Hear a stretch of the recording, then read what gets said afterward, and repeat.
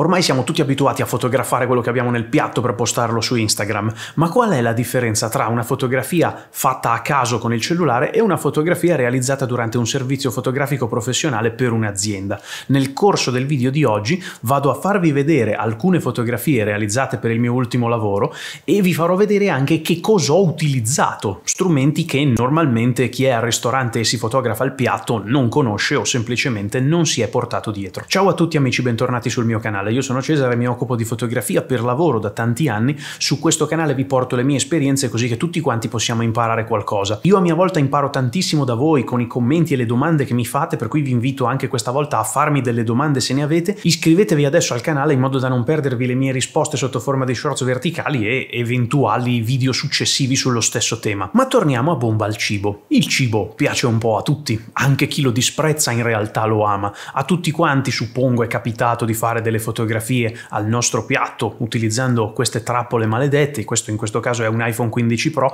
ci è capitato di fare le fotografie al cibo utilizzando lo smartphone e sono sicuro che ci è anche capitato di fare questo, di fare la fotografia con un telefono illuminando il piatto con l'altro telefono. La cosa in linea di massima non è per niente sbagliata. Nel corso del video di oggi vi faccio vedere l'upgrade di questo setup, quindi andiamo a vedere che cosa ho utilizzato per quest'ultimo lavoro. Ora, questo io lo devo segnalare come video sponsorizzato con inserzioni a pagamento, in quanto alcune delle cose che vi faccio vedere oggi mi sono state mandate dalle aziende che le producono. Quindi ve lo segnalo subito. Eh, le cose che mi sono state mandate sono il trepiede di Sirui e la luce, la, la Cob Light di Small Rig. Sono due prodotti che ho già recensito sul canale, vi lascio i link da qualche parte, potete andarvi a recuperare tutti i contenuti in cui ne ho già parlato, però un conto è parlarne e dire ok, questo prodotto è figo perché me l'hanno mandato e quindi mi piace, un conto è vederlo in azione. Oggi vediamo i risultati che sono riuscito a tirare fuori utilizzando questa strumentazione. Andiamo anche a vedere il perché di certe scelte. Dunque si tratta di una trattoria tradizionale tradizionale che fa cucina lombarda. In questo caso però, oltre a volergli dare un look di un certo tipo e quindi qui si parla di color grading, ho fatto una cosa che di solito non faccio, ho dato una color grading particolare per dare esattamente un certo tipo di look. Fatemi sapere in un commento se vi interessa questo argomento perché ve ne parlerò, ma solo se mi dite che vi interessa perché non sono sicuro che abbia tanto mordente come tema, quindi fatemelo sapere in un commento. Al di là di questo, la scelta è stata di utilizzare una luce dura, quindi sapete luce dura, luce morbida, in questo momento io sto utilizzando una luce morbida che ammorbidisce le ombre e rende più belli i lineamenti.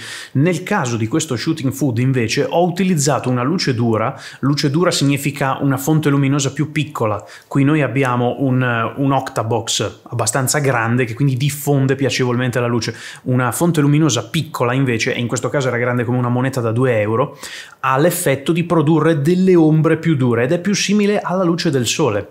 Perché questa scelta? Perché innanzitutto volevo sperimentare, volevo dare un look diverso, sono stufo di avere sempre la luce diffusa, voglio sperimentare qualcosa di nuovo e volevo dare tridimensionalità a questi piatti, volevo scolpire il cibo facendo provenire la luce da una sola direzione e volevo giocare con i riflessi dei bicchieri sapevo ci sarebbero stati dei bicchieri col vino, volevo giocare con i riflessi dei bicchieri che si allungassero sulla tovaglia e anche talvolta sulle pietanze stesse. Il risultato ve lo faccio vedere parzialmente nel corso di questo video, ovviamente è il risultato di cui siamo tutti abbastanza contenti, è un esperimento che forse ripeterò, forse no. La cosa interessante però è vedere quanta roba è stata messa in campo rispetto a una semplice foto fatta con lo smartphone. Perché? Perché come potete vedere dalle riprese di backstage, diciamo, la luce artificiale presente nel locale era abbastanza fioca e con una colorazione non particolarmente appagante dal punto di vista fotografico. Per andare lì a mangiare va benissimo, però era una luce con una, una dominante cromatica abbastanza marcata, mentre la luce che ho messo in campo io è una luce cosiddetta B, quindi ha la possibilità di variare la temperatura colore tra più calda e più fredda. Quindi io potevo matchare volendo il colore della, della, luce artificiale già presente, ma invece mi sono detto lavora giusto, lavora già bene. Ho impostato la mia luce a una temperatura di 5600 Kelvin, come faccio sempre, come faccio anche adesso. È impostata a 5600 anche questa. Ho impostato 5600 mia, sulle mie macchine tutte e, e, e lì ero pronto a lavorare e sapevo che il colore era già giusto, era già in bolla controlla perché comunque la dominante così viene soppressa in quanto la mia luce era molto più potente delle luci artificiali presenti in loco e anche della fioca luce ambientale che penetrava dalle finestre. Quindi lato illuminazione ce la siamo smarcata. Luce dura, una luce attenzione che è a batterie, quindi vi parlo anche delle batterie di Small Rig perché mi hanno mandato anche un paio di batterie e quella è la luce per video più comoda che io abbia in questo momento perché te la porti in giro. Lo stesso cliente era stupefatto e ho detto ah non c'è problema ci spostiamo all'altro tavolo. Mi fa ma devi spostare fili no no sta qui a batteria viene via così non c'è nessun problema posso pure tenerla in mano. Ah che bello. Questo per quanto riguarda la luce. Per quanto riguarda invece il trepiede trepiede come vi dicevo di Sirui è un trepiede per video quindi io l'ho utilizzato per fare delle riprese video ve ne faccio vedere un paio giusto per eh, quello che mi piace di questo trepiede è la stabilità immensa. Quindi io scelgo questo trepiede quando so che devo lavorare in un ambiente magari trafficato, ristorante, la cucina, camerieri che passano, perché c'è un, un, team di persone che sta lavorando per me per portarmi fuori i piatti, quindi comunque c'è passaggio.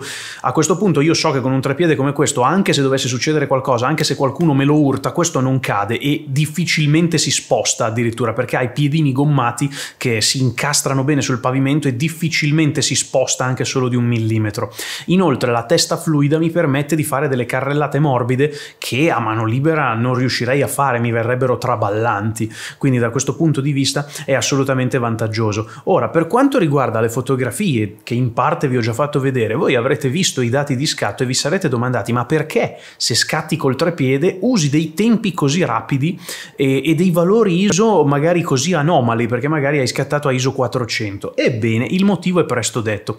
Intanto ISO 400 non crea nessun problema a livello di rumore o di gamma dinamica, quindi va benissimo, non è un grosso problema fino a ISO 800 diciamo che io lavoro serenamente e dopo comincio a pormi il problema, ma fino a ISO 800 veramente non esiste il problema. Perché scatto con dei tempi così rapidi? Beh ragazzi, per una serie di motivi. Intanto non è una buona idea fare delle pose lunghe sul cibo, perché comunque fare delle pose lunghe sul cibo significa metterci molto più tempo e il cibo è caldo e quindi si deteriora e, e spesso si deteriora anche in fretta.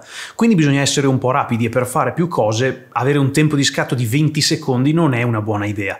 Quindi la lavoriamo con tempi di scatto abbastanza rapidi. Il trepiede in questo caso l'ho usato prevalentemente per avere l'inquadratura fissa e per poter spostare gli elementi sul tavolo mentre l'inquadratura rimaneva fissa.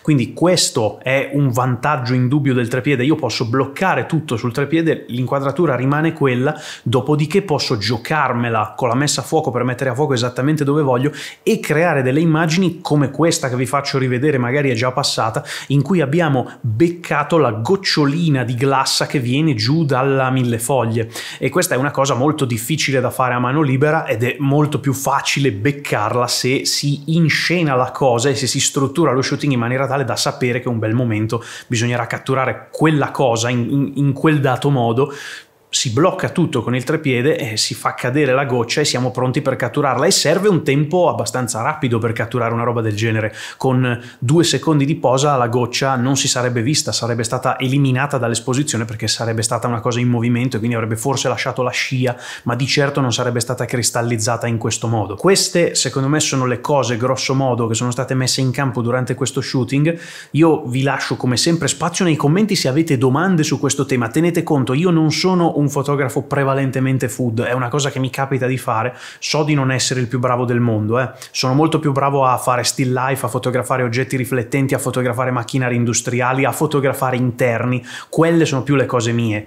Quando si tratta di fotografare food diciamo che me la cavo, metto in campo quello che ho, cerco di migliorare ogni volta, di sperimentare, di portare delle soluzioni nuove per il mio cliente e soprattutto anche per me e di conseguenza anche per voi che mi seguite. Parliamone nei commenti, fatemi sapere se voi avreste fatto qualcosa di diverso, fatemi sapere se vi interessano delucidazioni sui prodotti di cui vi ho parlato, anche se ci sono già le recensioni online, quindi potete andarvele a rivedere, c'è già tutto. Signori, non mi dilungo oltre, io vi ringrazio di aver passato un po' del vostro tempo con me e vi do come sempre appuntamento al prossimo video.